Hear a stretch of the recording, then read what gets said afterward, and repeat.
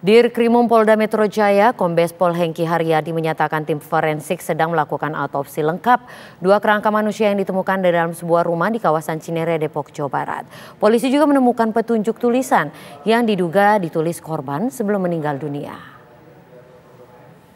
Ini tim forensik di bawah pimpinan Kabidokes Polda Metro Jaya sedang melaksanakan otopsi lengkap untuk melihat uh, menganalisis jenazahnya, apa penyebab kematiannya, kemudian apakah ada unsur racun di dalam jenazahnya itu, toksin.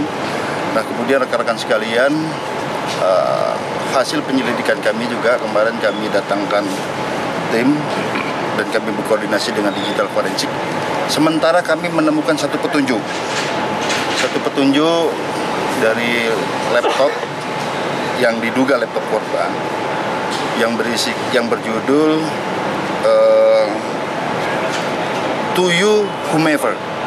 Jadi di sana tertulis siapa pun yang membaca tulisan ini mungkin pada saat melihat tulisan ini saya dan ibu saya sudah meninggal dunia.